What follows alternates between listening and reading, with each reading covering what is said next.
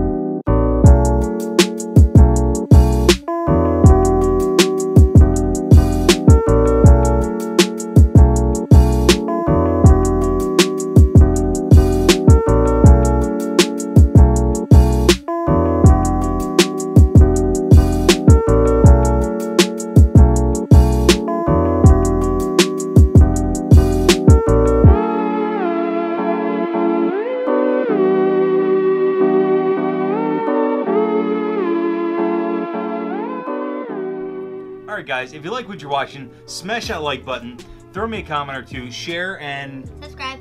Subscribe to the videos, and we will see you on the next one. See ya.